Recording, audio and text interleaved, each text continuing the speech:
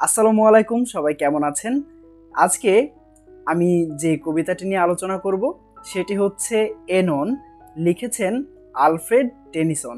এই কবিতাটির মধ্যে এনন একটি ফিমেল ক্যারেক্টার মানে নারী চরিত্র, যে হচ্ছে একজন পরী। তো এই পরীকে আমরা প্রথমেই দেখতে পাবো, ইউনিয়ন পাহাড়ের যে উপত্যকা, সেখানে সে হাঁটছে দুঃখ করছে। মানে কেউ যদি শোকাহত হয় এবং অনেক কষ্ট পায়, তাহলে সে যেভাবে ঘুরে ঘুরে দুঃখ করে কাঁদে, ফুঁপিয়ে ফুঁপিয়ে কাঁদে, হাই হুতাশ করতে করতে হাঁটতে থাকে, তো আমরা এই এননকে আমরা এখানে প্রথমে এভাবেই দেখতে পাবো। তো এখন কথা হচ্ছে সে কেন এভাবে দুঃখ প্রকাশ করছে? তার এই দুঃখ প্রকাশ করার মূল কারণ হচ্ছে, তার যে স্বামী ছিল, তার যে প্রেমিক ছিল, সে প্রেমিক প্যারিস তাকে ছেড়ে গেছে। এখন তার পরের কথা হচ্ছে যে প্যারিস কেন তাকে ছেড়ে গেছে? প্যারিসকে কোনো একভাবে একটা পরীক্ষার সম্মুখীন হতে হয়। তাকে তিনজন দেবী পরীক্ষা করে। তো সেই তিনজন দেবী তাকে কি পরীক্ষা করে? প্যারিসের উপর দায়িত্ব পড়ে সেই তিনজন দেবীর মধ্যে একজনকে নির্বাচিত করার। মানে একজনকে ভোট দেওয়ার, একজনকে একটা গোল্ডেন অ্যাপেল সে দিবে, এক- একটা স্বর্ণের আপেল সে দিবে। সে যাকে পছন্দ করবে, যাকে ভোট দিবে, সে তাকেই সেই আপেলটা দিবে। তো সেই তিনজন দেবীর নাম হচ্ছে হেরা, অ্যাথেনা এবং আফ্রোদিতি। এখন তিনজনই প্যারিসকে বিভিন্ন রকম অফার করছে। তুমি আমাকে নির্বাচিত করলে আমি তোমাকে এটা দিব, সে বলছে তুমি আমাকে নির্বাচিত করলে আমি তোমাকে ওটা দিব। তো এরকমভাবে তিনজন তাকে তিন ধরনের অফার করে। প্রথমে হেরা তাকে বলে যে, আমি তোমাকে রয়্যাল পাওয়ার দেব, আমি তোমাকে রাজকীয় ক্ষমতা দেব। তো প্যারিস, আসলে প্যারিসে সেটা পছন্দ হয় না, তার এটা মনে ধরে না। দেবী অ্যাথেনা তাকে বলে যে, আমি তোমাকে অনেক সম্মান দেব, আত্মসম্মান দেব, আমি তোমাকে আত্মনিয়ন্ত্রণ দেব, তারপর তোমাকে জ্ঞান দান করব, যেটা তোমার জীবনের জন্য অনেক কাজে লাগবে। কিন্তু প্যারিসের সেটাও ভালো লাগে না। তারপর আসে আফ্রোদিতি। আফ্রোদিতি তাকে অফার করে যে আমি তোমাকে অনেক সুন্দর একজন জীবন সঙ্গিনী দেব, অনেক সুন্দর একটা নারীর সাথে তোমার মিলন ঘটাবো যে পৃথিবীর সবচেয়ে সুন্দরী। এটা প্যারিসের মনে ধরে, প্যারিস এটাকে পছন্দ করে এবং সে আফ্রোদিতিকে নির্বাচিত করে, মনোনীত করে এবং সে গোল্ডেন অ্যাপেলটা আফ্রোদিতিকে দেয়। তো তারপরে হয়ে গেল ব্যাস, এদিক থেকে প্যারিস হ্যালেনকে পেয়ে গেল এবং সে এননকে ছেড়ে দিল। এই যে এনন এই অ্যানন কিন্তু এই প্যারিসের জন্য সারা জীবন পরে একা একাই কাটিয়ে দেয়। প্যারিসের ফিরে আসার জন্য সে অপেক্ষায় থাকে।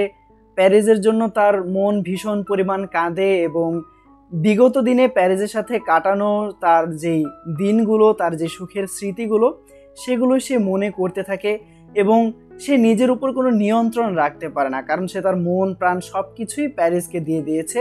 এবং সে তার জীবনের শেষ কয়েকটা দিন পর্যন্ত মানে তার মৃত্যুর আগ পর্যন্ত, সে প্যারিসের জায়গায় অন্য কাউকে আর বসাতে পারে না। তো এই হচ্ছে এই কবিতাটার মূল ঘটনা এবং তারপরে কি ঘটলো? তারপরে যেটা হলো হ্যালেনেরও কিন্তু স্বামী ছিল এবং হ্যালেনের বাড়ি হচ্ছে গ্রিসে। আর এইদিকে প্যারিস যে, প্যারিসের বাড়ি হচ্ছে ট্রয়। তো সে হ্যালেনকে গ্রিস থেকে নিয়ে আসার ফলে গ্রিসদের সাথে মানে গ্রিকদের সাথে ট্রয় নগরীর মানুষদের মানে ট্রোজানদের একটা ভয়াবহ যুদ্ধ হয়, যেটা গ্রিক মিথোলজিতে আমরা পাব।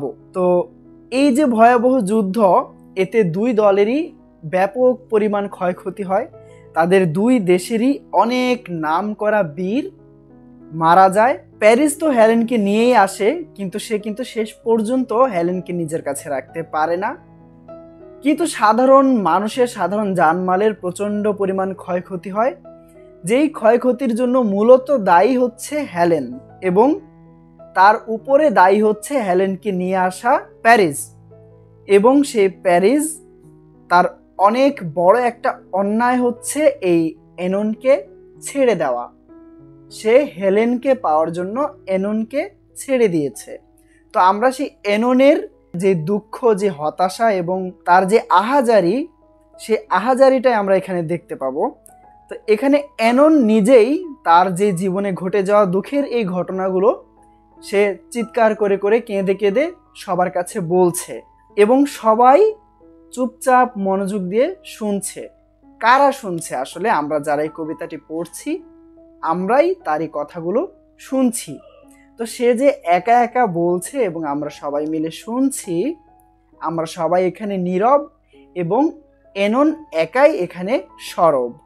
তো এই ঘটনাটাকে বলা হয় ড্রামাটিক মনোলগ মানে হচ্ছে যেখানে একজন স্পিকার থাকবে আর বাকি সবাই থাকবে সাইলেন্ট লিসেনার তো এই কবিতার মাধ্যমে কবি সেই ভিক্টোরিয়ান যুগের যে মানুষের নৈতিক অবক্ষয় হেলেন তার স্বামীকে ছেড়ে চলে এসেছে, আবার প্যারিস এদিক থেকে তার স্ত্রীকে ছেড়ে চলে গেছে এবং মানুষ যে জ্ঞানের পেছনে না ছুটে, যে সৌন্দর্যের মোহে পড়েছে, এই বিষয়গুলোই এই কবিতার মাধ্যমে ফুটিয়ে তোলা হয়েছে।